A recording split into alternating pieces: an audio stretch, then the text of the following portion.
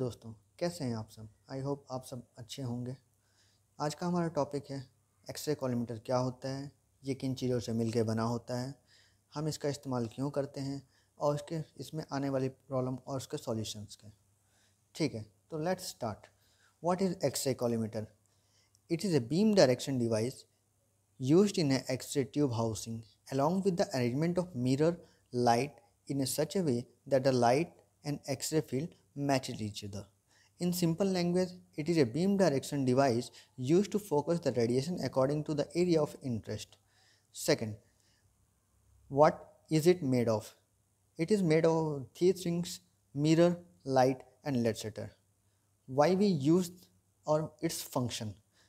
We use it the first one for blocking the X-ray scattering. Second, reduce the X-ray injury to patient and third improve the image quality and the problem and solutions the first problem came is the bulb issue second is power issue and third is slider issue और lead shutter issue सबसे पहले आप ये देखिए कि ये हमारा x ray collimator है ये इसमें पावर इनपुट के लिए है ये शटर ये शटर ओपन क्लोज के लिए है। ठीक है? उसके बाद जो हमारा बल्ब लगता है, ये बल्ब यहाँ पे लगता है। तो सबसे पहले हम देखेंगे कि ये बल्ब फ्यूज़ हो गया, हमको चेंज करना है। तो सबसे पहले हम ये दोनों स्क्रू ओपन करेंगे। ओके? ये हमारा ये ओपन हो गया है। इसको हम यूँ निकाल लेते हैं। जैसे कि आपको यहाँ दिख रहा होगा ये हमारा बल्ब है, कॉलीमीटर बल्ब। इसको ओपन करने के लिए ये जो अपना स्क्रू है, इसको ओपन करना पड़ेगा तो ये निकलेगा। अब इसको प्रॉपर तरीके से वर्क करने के लिए हमको ये कवर निकाल लेंगे तो हमको प्रॉपर तरीके से वर्क कर पाएँगे। ये देखिए, हमको ये दो स्क्रू इधर और दो स्क्रू इस साइड में। इन दोनों को ओपन करना होगा। देखिए, इसको अपन ने ओपन कर लिया है। अब हमको इसको ओपन करना है। ये ओपन होगा। ओपन करेंगे तो मेरा कॉल कॉलमीटर का बल्ब निकल जाएगा। ये मेरा कॉलमीटर का बल्ब निकल गया। ये बल्ब निकलने के बाद हमको ये दो स्क्रू इसको और एक इसको ओपन करेंगे। बल्ब इजली निकल जाएगा। यहाँ पे वापस फिट कर दिए बल्ब को। इन दोनों इसको को टाइट कर दिए। ये हमारा फिक्स हो गया। ये हमारा बल्ब फिक्स हो गया। बल्ब का प्रॉब्लम रेक्टिफाई हो गया। दूसरा प्रॉब्लम क्या आता है कि हमारा ये इनपुट है। हमारा इनपुट पावर आ रहा है या नहीं आ रहा है? सबसे पहले हम इसमें हम चेक करते हैं इनपुट वोल्टेज। इनपुट वोल्टेज यहाँ से वायर आएगा मशीन से। यहाँ पर हम इनपुट वोल्टेज चेक करते हैं कितना वोल्ट आ रहा है या नहीं आ रहा है। अगर नहीं आ रहा है तो इसका मतलब कि हमारा मशीन से ही इनपुट नहीं आ रहा है, इसलिए हमारा बल्ब नहीं ग्लो हो रहा है। अगर इनपुट आ रहा है तो हम इसको इसमें फिक्स कर देते हैं।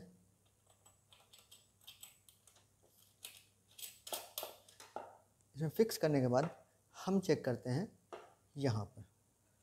ये स्विच में स्विच में हम इनपुट चेक करते हैं और आउटपुट चेक करते हैं स्विच ऑन करने पे। अगर हमारा इनपुट आ रहा है और आउटपुट नहीं आ रहा है तो इसका मतलब हमारा स्विच का इशू है। हम स्विच चेंज कर देंगे स्विच का काम हो जाएगा। अगर हमारा स्विच में इनपुट भी आ रहा है और आउटपुट भी आ रहा है आउटपुट भी आ रहा है तो हम क्या चेक करेंगे? ये जो वायर यहाँ से हमारा, इस पे गए हुए हैं बल्ब पे, ये बल्ब पे जो वायर गए हुए हैं तो वो उसको चेक करेंगे और उसकी कंटिन्यूटी चेक करेंगे। अगर उन वायर में कोई इशू है तो हम क्या करेंगे? वायर को हम इंटरचेंज करके, वायर को हम चेंज कर देंगे। जो भी वायर का इशू होगा, दूसरा इशू ये रिज़ॉल्व तीसरी जो इशू आता है, वो आता है इसका लेड सेटर लेड सेटर में इशू जो आता है, वो क्या होता है कि ये जो आप व्हील देख रहे हैं ग्रुप व्हील रहती है, इसके अंदर ग्रुप बने रहते हैं, जैसे आप देख रहे होंगे ग्रुप बने हुए हैं। इसमें से ये थ्रेड गया हुआ है। अगर ये थ्रेड ढीला हो गया या फिर इनसे व्हील से निकल जाएगा तो हमारा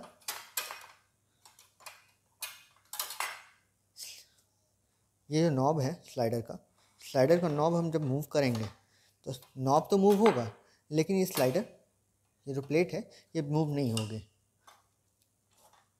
ओके तो इसके लिए हम क्या करते हैं?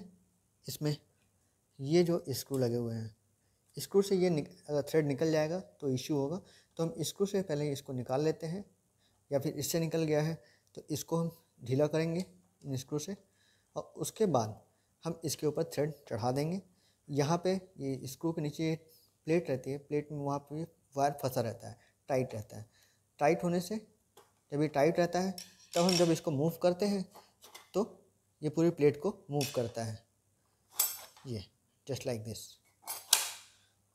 okay